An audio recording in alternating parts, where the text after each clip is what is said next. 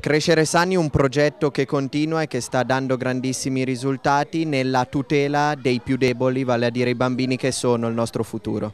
Assolutamente sì, Crescere Sani sta guardando con grande attenzione a questa provincia che è il Verbano Cusio Ossola perché ci sono veramente delle realtà bellissime. Abbiamo premiato recentemente Gravellone e Verbania per la loro attenzione nei confronti dei bambini. Abbiamo in esso in atto questo progetto collaborativo col provveditorato che ha visto coinvolti 1200 bambini, 100 eh, insegnanti, 70 scuole. Un successo veramente insperato, dei lavori fatti da questi bambini meravigliosi, un grande lavoro degli insegnanti un grande lavoro del provveditorato, un grande lavoro di coordinamento della scuola in ospedale. Sono lieto come Crescere Sani di dare veramente un bollino di premio. Oggi il sindaco di Gravellone e l'assessore al bilancio di Verbagna chiedevano di fare una provincia per Crescere Sani. Io credo che questa sia veramente una provincia speciale per l'attenzione nei confronti dei bambini e dei confronti quindi anche delle famiglie e della prevenzione delle malattie successive per l'età adulta.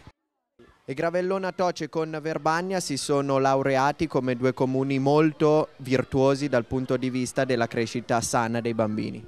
Ma sì, è un, stato un riconoscimento che abbiamo ricevuto tempo fa perché è stato verificato che rispetto al decalogo che l'associazione Crescere Sani Onlus ha, ha definito eh, rispetto agli stili di vita eh, nella nostra comunità eh, ci sono già moltissime attività che sono coerenti a questo decalogo e questo per noi è stato un grande orgoglio.